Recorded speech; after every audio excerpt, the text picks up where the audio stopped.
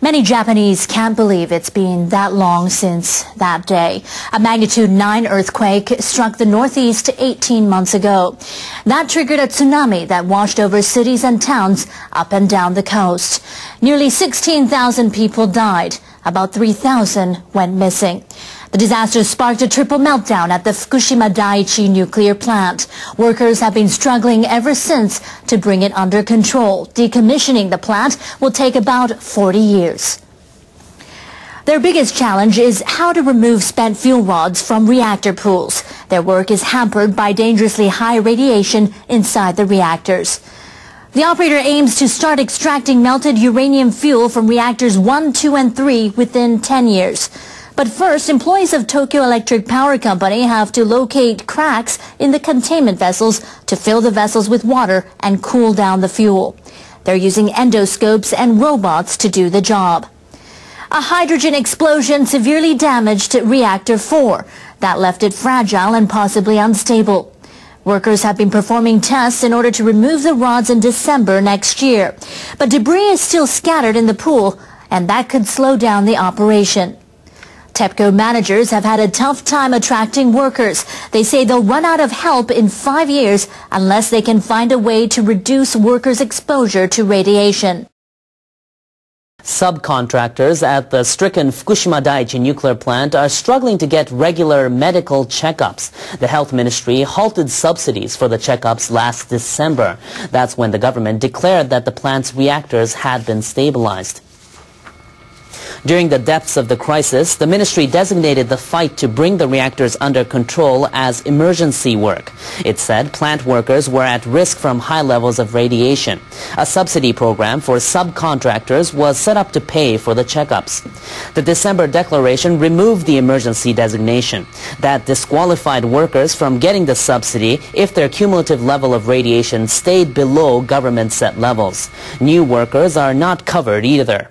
But more than 180 workers were exposed to a cumulative radiation dose of more than 50 millisieverts as of July after the declaration. Many cannot get the checkups without financial support from their employers. This worker is in his 30s. His cumulative radiation dose is 60 millisieverts. But last December, it was just 15 millisieverts, so he's disqualified from the health checkup subsidy. What the fuck? You The ministry must think workers are dispensable. Nobody would want to start working at the plant. The health ministry says jobs at the Fukushima plant can no longer be considered emergency work. The health ministry says jobs at the Fukushima plant can no longer be considered emergency work. What the fuck? That means workers should be treated the same as at any other nuclear plant. That means workers should be treated the same as at any other nuclear plant. TEPCO managers have had a tough time attracting workers. They say they'll run out of help in five years unless they can find a way to reduce workers' exposure to radiation.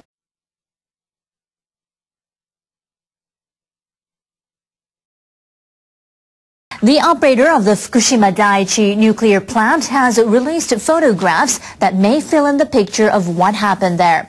Tokyo Electric Power Company released 600 photos taken soon after the disaster. Company spokespersons say a lack of in-house coordination delayed the release of the images.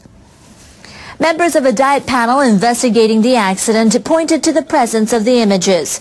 TEPCO managers say they asked employees and contractors to contribute the photos. Some of the pictures show workers fleeing just after the earthquake. Others show pools of water in rooms that house the power sources for two of the reactors. TEPCO spokespersons say they don't believe the photos will directly affect their investigations into the accident. People in Japan have been debating nuclear energy since last year's Fukushima disaster. The government is promising to review how the country sources its power. The draft of its new energy policy calls for a non-nuclear Japan, but it insists on using nuclear reactors as a transitional measure. The draft says the government will take various measures and direct resources so that all reactors in Japan will be halted by the 2030s. This implies that the government will do its best to promote renewable energy. The government's future energy policy will be based on three principles. Limiting the operation of any nuclear plant to 40 years, the resumption of operations of plants to only those confirmed to be safe by the Nuclear Regulatory Panel, and no building of new reactors. The draft also says reprocessing plants for spent nuclear fuel in northern Japan will continue to operate. It adds that the government will find a location for the final disposal of nuclear waste.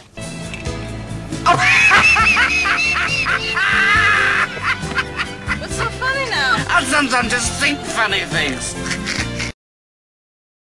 Fukushima peaches sold overseas after 18 months. Peaches grown in Fukushima are being sold overseas for the first time since exports were halted because of the nuclear crisis 18 months ago. The first shipment was sent to Thailand. About 900 peaches were displayed on Wednesday in a fruit shop at a department store in Bangkok. Some shoppers purchased the peaches after enjoying a free sample. One woman who bought the fruit said she wasn't worried about radioactive contamination because she heard safety checks had been carried out. She said the peaches are sweet and delicious. An official from Fukushima said exports resumed after the prefecture invited Thai retailers to inspect peach farms and sites where radiation checks are conducted. Agricultural and marine products from Fukushima were halted after the nuclear accident due to fears of radioactive contamination. Katsuhiko Konage of the Fukushima Prefectural Trade Promotion Council said he is happy to see the products being sold abroad again. He said his organization will do more to boost the sale of peaches. Officials in Fukushima say the peaches will be sold in Thailand until the end of the week. They will consider an additional shipment depending on demand, and say they also hope to resume peach exports to other Asian countries.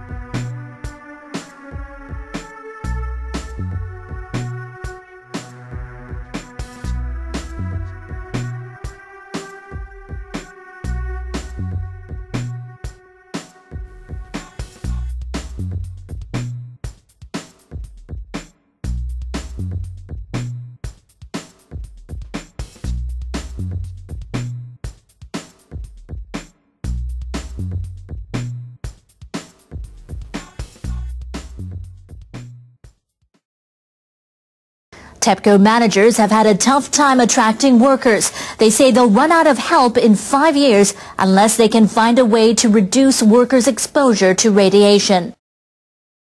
Subcontractors at the stricken Fukushima Daiichi nuclear plant are struggling to get regular medical checkups. The health ministry halted subsidies for the checkups last December. That's when the government declared that the plant's reactors had been stabilized.